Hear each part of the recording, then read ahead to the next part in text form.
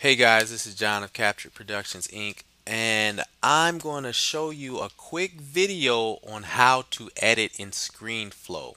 So I just shot this video um, sharing about um, the basic features in Camera Raw.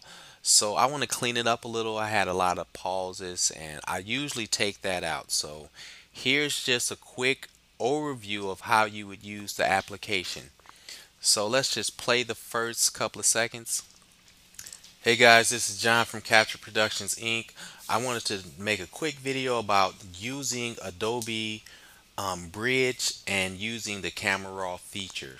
So we're going to go down to um, an old photo album um, and here's the picture that I want to work on and let's um, right click on the picture and open in camera raw. So I actually said um a lot and um, when I'm thinking I actually say um a lot to get what I want to say out clearly. So this is how you take out one of the ums or one of your pauses and open in camera raw. Let's I think it's right here that I want to work on and that I want to work on. And let's take out the and. So I'm zooming in with the plus button. And I can scrub with the playhead. I position my playhead where I want it to be right about here. And I can go and click edit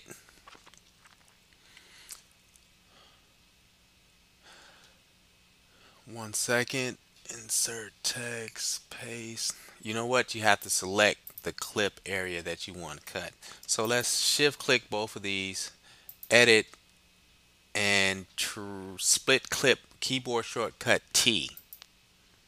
So now I have my edit point. Let's play it a little bit longer to go over the and. And uh, so now I have two options. I can either highlight these two clips by click hold and dragging and pull this over right into the playhead and see how it snaps on the playhead? Snap right here. And I made a new edit point. And I can delete this area and let's listen to it. Um, and here's the picture that I want to work on.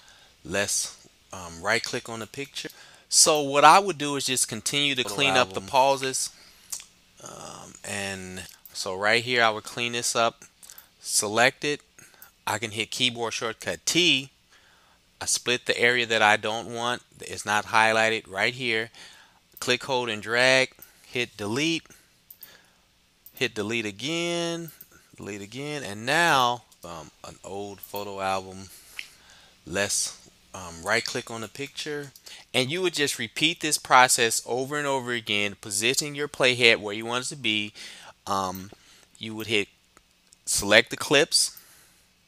You can hit keyboard shortcut T.